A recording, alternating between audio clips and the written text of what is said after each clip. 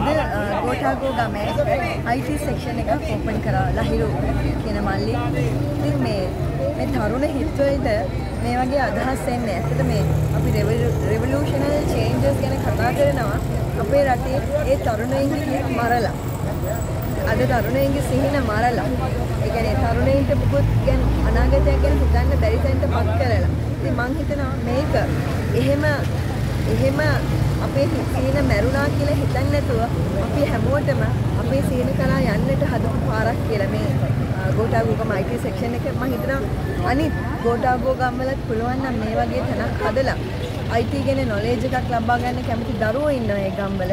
ඉතින් ඒ වගේ ගම්වල ඇතුලේ ඇති IT ගැන දැනුමක් තියෙන ළමයි, හැංගිච්ච ළමයි, ඒ ළමයිට පුළුවන් ඒ වගේ තැනක් හදලා ඉගෙන ගන්න කැමති අයට දොරක් කරලා දෙන්න.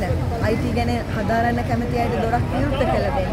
සහ මේ හරහා රස්සාවල් හොයාගන්න පුළුවන්. අනාගතයේ කියන්නේ අනාගතේ බාර ගන්න ඉන්න තරුණ පරපුරට IT කියන IT කියන දේ තුලින් ලෝකෙ පුරා හොයාගන්න දේවල් ගොඩාක් තියෙනවා. ඒවා හොයාගෙන යන්න පුළුවන්. විවිධ අංශ හරහා IT පාවිච්චි කරන්න පුළුවන්. ඉතින් ලහිරු හදලා තිනවා අපි අපි කියලා ඇප් එකක්. මේ අපි අපි ඇප් එක ඩවුන්ලෝඩ් කරගන්න. එතකොට මම හිතනවා ඔයගලන්ට ගොඩක් ගොඩක් දේවල් මේ තුලින් මොකද්ද කරන්නේ කියන එක ගැන ඔයගලන්ට ලොකු අවබෝධයක් ලැබේ. මම ආරාධනා කරනවා හැමෝටම එළියෙන් ඉඳන් වැඩ කරද්දී අරගලයත් එක්ක සම්බන්ධ වෙන්න බැරි වෙනවා නම් එන්න තමුන්ගේම ලැප්ටොප් එක අරගෙන ඇවිල්ලා මේක ඇතුළට වෙලා වැඩ කරගෙන අරගලයත් එක්ක එකතු වෙන්න.